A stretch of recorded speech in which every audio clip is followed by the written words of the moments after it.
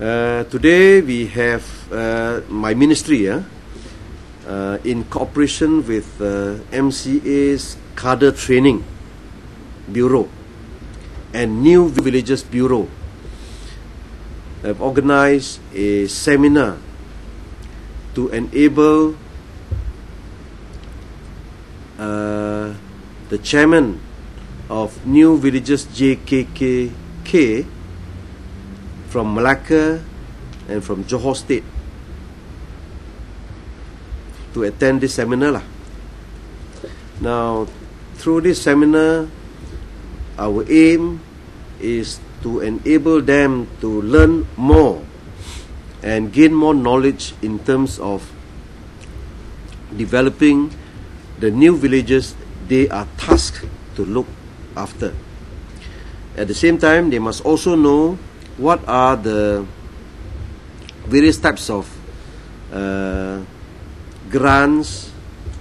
from the federal government so that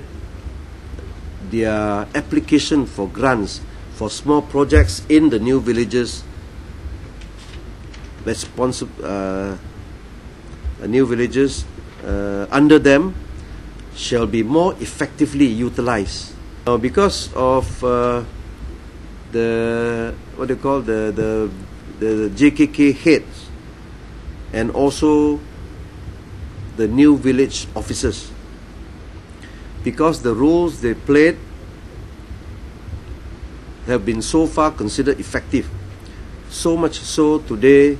the development in new villages have become a reality in the sense that all the basic infrastructures are already in place in all the new villages. And the only thing left for them is to ensure that all the infrastructures are under constant repair, is in constant state of uh, good state of affairs, and at the same time,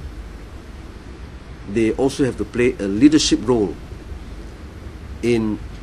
looking after new villages. Now, in 2009, from the traditional 450 new villages, and another 157 fishing villages and connected